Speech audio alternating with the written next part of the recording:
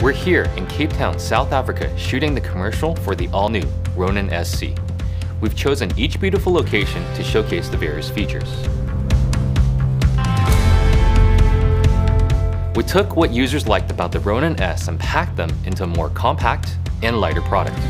One of the most important aspects was to reduce overall weight without compromising power. The Ronin SC is built to allow users to operate their cameras even in the most inaccessible locations and still get perfectly stabilized shots.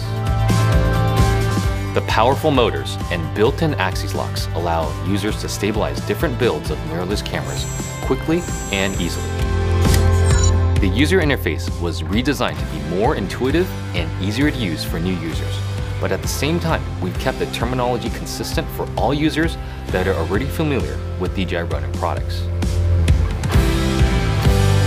Traveling up to Table Mountain showed how light and easy it is to shoot with the Ronin SC in an outdoor environment, where it's almost impossible to carry a lot of equipment.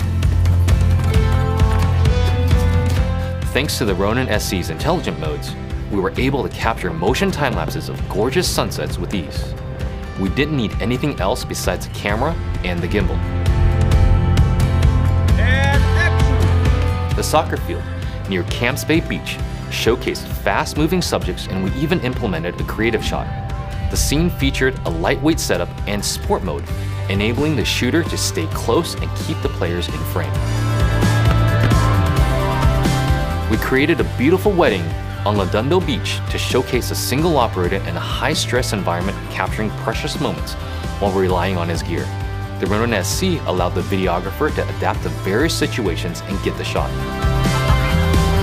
With Active Track 3.0, single operators can track moving objects like a person, animal, or car. We're using the app on a mobile device mounted to the top of the camera as a tracker. The algorithms and deep learning do the rest. And finally, the Indy film set showcases the focus motor for cinematic focus pulling and the capabilities of Force Mobile, allowing a second operator to control the camera. Force Mobile opens up the door for a second operator.